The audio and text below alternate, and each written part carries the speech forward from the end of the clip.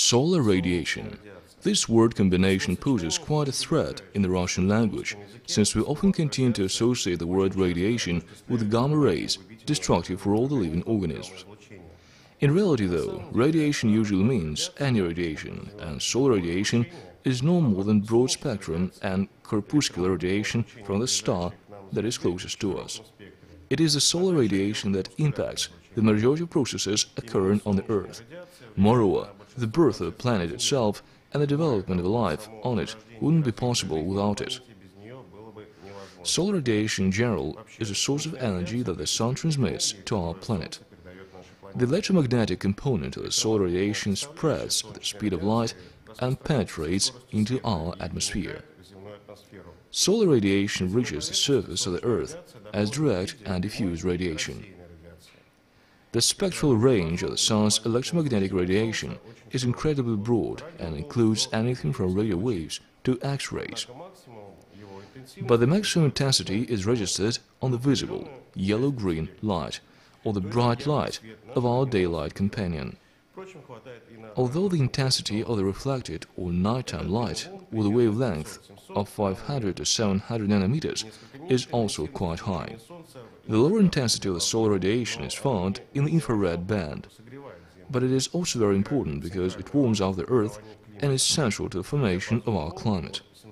The wavelength in this band is 760 to 2800 nanometers. The ultraviolet band of the electromagnetic radiation, 280 400 nanometers, is a key to vegetative processes. We're also familiar with it because it affects the human skin. Under small portions of UV radiation, our skin becomes darker, and when we overdo it, we get sunburned. This radiation is also harmful for eyes.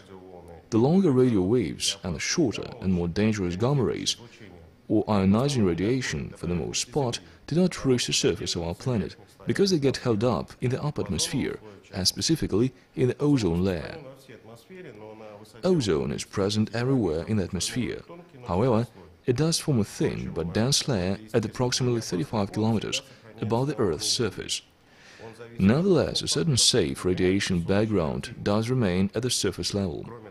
It depends upon various factors, like the solar activity, for example. Besides, the intensity of solar radiation depends on the height of the Sun above the horizon. At high Sun, the path that the Sun rays have to travel will be significantly shorter than at times when the Sun is on the horizon. Because of the increase in the path, the solar radiation intensity changes as well. The intensity also depends on the angle of the Sun's rays, because this determines the area or the territory that is lit up. It means that the same solar radiation is distributed over the larger area, so the intensity decreases. The intensity of solar radiation depends on the air mass that the sun rays have to pass through. In the mountains, it will be higher than the above sea level, because the air mass that the sun rays have to travel through on their way is less than that in the above the sea level case. Atmospheric pollution also increases the intensity. Another important factor is the distance between the Sun and the Earth. Even small changes in the distance, which is in fact dependent on the eccentricity of the orbit, lead to a substantial decrease in the amount of radiation that reaches the surface of our planet. Such decrease is proportional to the square distance between the planet and the star. The intensity of solar radiation is usually measured based on its thermal effect and is expressed in calories per surface unit in a time unit. There also exists a solar constant that describes the amount of solar energy that any time unit reaches a surface unit located in our atmosphere at the right angle to the sun rays at the average distance between the Earth and the Sun. This constant is equal to 1.94 calories per square centimeter per minute. Solar radiation is measured with the help of actinometers and pyrheliometers.